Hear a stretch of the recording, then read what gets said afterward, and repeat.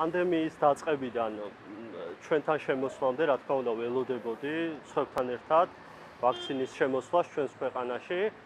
როგორც კი საშუალება გაჩნდა, მალევე შევძელი დარეგისტრირება სინოვაკის ვაქცინაზე, მიუხედავად იმისა, რომ ვარ ალერგიული, ექიმთან კონსულტაციის შემდეგ გადაწყდა, რომ გამეკეთებინა, ანუ შესაძლებელი იყო ჩემთვის ვაქცინის გაკეთება.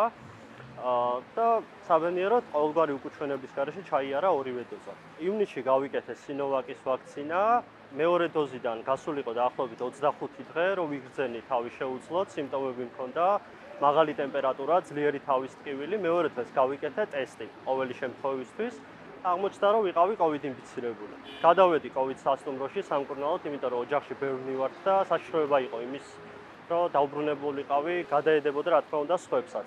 კურნალობის პერიოდი თავიდან რთულად მიდიოდა, პირველი 4 დღე მქონდა მაღალი ტემპერატურა, ტკივილები და იმის ფონზე რომ მაქვს ძალიან დაბალი იმუნიტეტი, თან აღმომაჩნდა დელტა შტამი, მე ვფიქრობ, რომ კიდე მარტივად გამოვძვერი, იმიტომ რომ გამოკვლევების მერე აა მივიღე როგორც აღმოჩნდა, ფილტვის ძალიან მინიმალური დაზიანება, დიდი ალბათობით და ჩემი ღმერთმენით ეს არის ვაქცინის დამსახურება.